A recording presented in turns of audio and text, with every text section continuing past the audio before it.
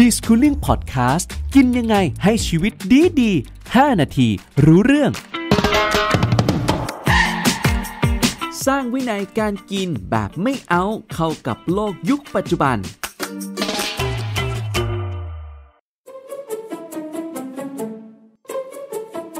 สวัสดีครับทุกคนครับ ทุกวันนี้นะครับ เทรนด์ในเรื่องของการผลิตอาหารเปลี่ยนแปลงไปอย่างรวดเร็วมาก ๆ เลยทีเดียว เรามักจะเห็นอาหารหลายชนิดถูกแปรรูป ไปจนไม่เหลือเขาโครงเดิมอยู่เลยละครับ จริงๆ แล้วมันเคยเป็นวัตถุดิบอะไรมาก่อน หรือผลิตมาจากผักผลไม้ หรือเนื้อสัตว์ชนิดไหนบ้าง ซึ่งแน่นอนครับว่าอาหารเหล่านี้ผ่านกระบวนการผลิตที่ซับซ้อนมาเยอะแยะพอสมควรเลย วันนี้ครับเราจะมาขอความรู้ความเข้าใจ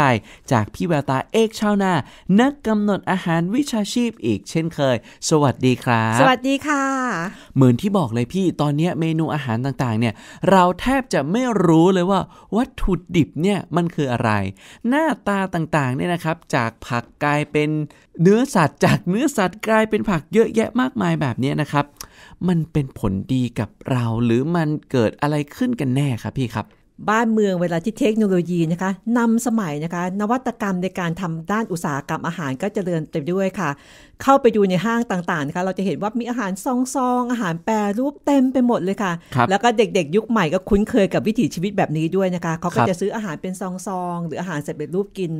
ซึ่งนวัตกรรมแบบนี้นะคะทำให้อาหารมีการแปรรูปแบบซับซ้อนปกตินะคะวิถีชีวิตเราเนี่ยเราแปรรูปอาหารอยู่ตลอดเวลาครับนะคะ เพราะว่าเรากินอาหารดิบไม่ได้ ยกตัวอย่างอย่างเช่น เรามีอกไก่นะคะครับเราก็ไปแปรรูปเป็นไก่ย่างไก่ผัดขิงครับแต่ถ้าระบบอุตสาหกรรมอาหารนะคะเขาแปรรูปจะมองไม่เห็นว่าเป็นไก่เลย อย่างครับเช่นไก่ก็เอาไปทำเป็นนักเก็ตอืมถ้าเราไม่เคยรู้จักนักเก็ตมาก่อนเป็นก้อนๆอะไรก็ไม่รู้เนาะครับเราก็ไม่รู้ว่านี่คือทำจากไก่มาก่อน และขั้นตอนที่จะทำ อาหารแปรรูปพวกนี้ค่ะเขาจะใส่สีใส่กลิ่น ใส่สารกันบูดใส่สารยืดอายุทำให้เราได้รับสารเจือปนอาหารมากเกินความจำเป็นค่ะครับ แล้วในแง่ของโภชนาการอาหารต่างๆนะครับ ยิ่งอาหารถูกแปรรูปถูกเปลี่ยนสภาพไปมากเท่าไหร่ คุณค่าทางโภชนาการของเขาก็จะลดน้อยถอยลงไปด้วยไหมครับพี่แววครับ ถ้าความเป็นธรรมชาติหายไปนะคะ คุณค่าทางโภชนาการก็จะลดน้อยหายไปค่ะครับแต่บางทีบางยี่ห้อเขาจะเสริมเติมเข้ามาค่ะครับอย่างเช่นเติมวิตามินซี วิตามินอ e ีอย่างนี้ขึ้นมา แต่ก็ไม่มากเท่าไหร่ค่ะ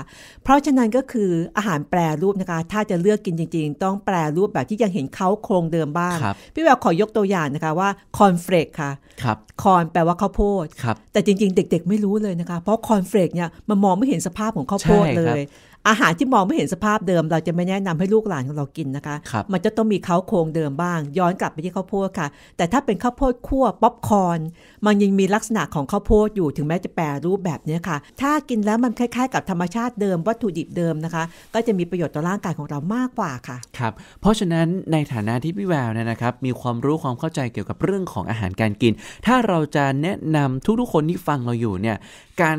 กินอาหาร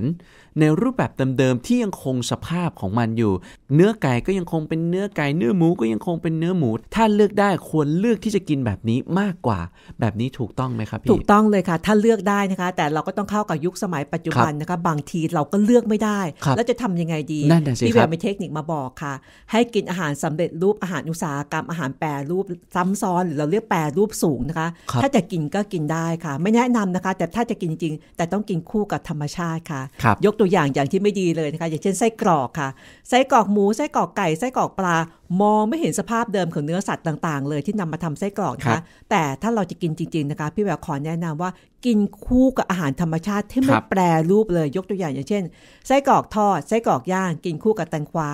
กินคู่กับผักกาดหอม กินคู่กับแอปเปิลกินคู่กับมะเขือเทศ อย่างนี้ยค่ะจะสร้างความสมดุล แต่เราก็ไม่ควรสุดโต่งที่จะเป็นไส้กรอกทุกวันค่ะครับ เพราะฉะนั้นนะครับ เทคนิคหนึ่งที่ฟังแล้วก็สามารถนำไปใช้ได้เลยนะก็คือการรักษาสมดุล ในเมื่อโลกของเราตอนนี้นะครับมันเปลี่ยนแปลงไปทุกอย่างทั้งเรื่องของอาหารการกิน ถ้าเราหลีกเลี่ยงไม่ได้ วิธีการที่ดีที่สุดนั่นก็คือ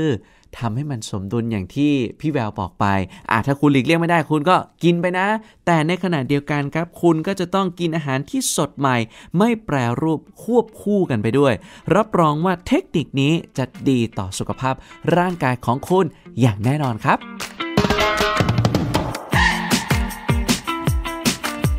d i s c o o l i n g Podcast กินยังไงให้ชีวิตดีดี 5 นาทีรู้เรื่อง